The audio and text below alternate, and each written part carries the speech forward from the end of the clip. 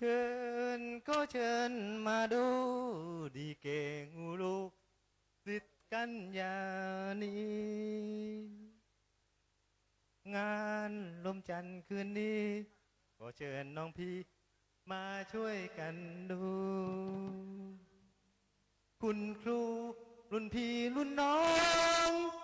เชิญมาดูดีเก่หูลูก